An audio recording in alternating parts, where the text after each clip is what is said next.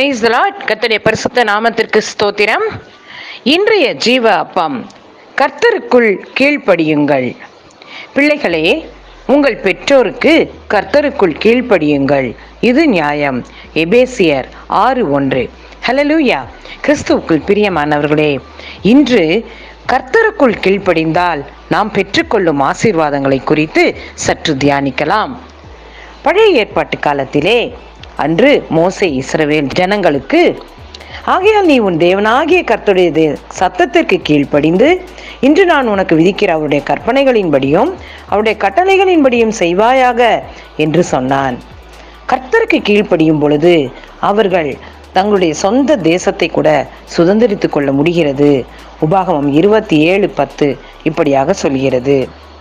கர்த்தரின் சத்தத்திற்கு கீழ்ப்படிந்த ஆபிரகாம் அவன் பெற்றுக்கொண்ட ஆசீர்வாதங்களையும் ஆதியாகமம் இருபத்தி ஆறு நான்கிலே காண முடிகிறது தன் தகப்பனுக்கும் தன் தாய்க்கும் கீழ்ப்படிந்த யாக்கோபு பெற்ற ஆசிர்வாதங்களை ஆதியாகமம் இருபத்தி எட்டு ஏழு வசனத்திலே காண முடிகிறது புதிய ஏற்பாட்டிலும் கூட பரிசுத்த ஸ்திரீகள் தேவனுக்கு பயந்த பரிசுத்த ஸ்திரீகள் தங்கள் புருஷர்களுக்கு கீழ்ப்படிந்து தங்களை இப்படியாக அலங்கரித்துக் கொண்டார்கள் என்று பார்க்கின்றோம்.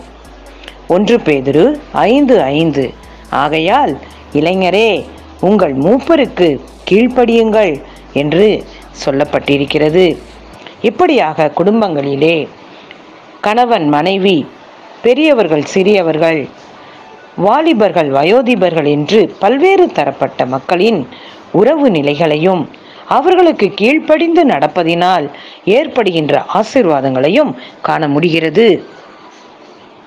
கொலோசேயர் மூன்று இருபத்தி இரண்டிலே வேலைக்காரர் தங்கள் எஜமான்களுக்கு சரீரத்தினாலே கீழ்ப்படிந்து அவர்கள் உதவி செய்வதை காண முடிகிறது.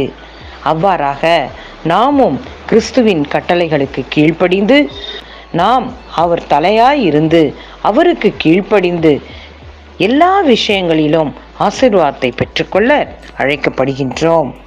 இந்த நாளிலும் கர்த்தரின் சத்தத்துக்கு கீழ்ப்படியும் பொழுது அவர் தமது தயவுள்ள சித்தத்தை நம் வாழ்க்கையிலே நடத்தி வருகின்றார். ஆதலால் நாம் பெரும் ஆசிர்வாதங்களை பெற்றுக்கொள்கின்றோம். கர்த்தருக்கு கீழ்ப்படிதல் என்பது அவருடைய மெல்லிய அமர்ந்த சப்தத்தை கேட்டு அதன்படி நடப்பதும் அவருடைய கற்பனைகளையும் கட்டளைகளையும் கைக்கொள்வதே ஆகும். கிறிஸ்துவுக்குள் பிரியமானவர்களே கர்த்தருக்கு பயந்து அவருக்கு கீழ்ப்படிந்து அவருடைய ஆசிர்வாதத்தை பெற்று அவரின் சித்தப்படி வாழ முற்படுவோமா? அன்புள்ள இயேசப்பா இந்த ஆசீர்வதிக்கப்பட்ட நாளுக்காக நன்றி கர்த்தாவே. நீர் கொடுத்த உம்முடைய கட்டளைகளையும் கற்பனைகளையும் நாங்கள் கைக்கொண்டு அது அதன்படி நடந்து கீழ்ப்படிந்து உமக்கு பிரியமான வாழ்க்கை வாழ எங்களை அர்ப்பணிக்கிறோம். இந்த நாளிலும் இந்த வசனத்தின் மூலமாய் எங்களை தொட்டதற்காக நன்றி அப்பா. உம் சித்தத்தை எங்கள் வாழ்விலே நிறைவேற்றும். இப்பொழுதும் எங்களை தாழ்த்தும் உடைய தூய திருக்கரத்திற்குள் அர்ப்பணிக்கிறோம்.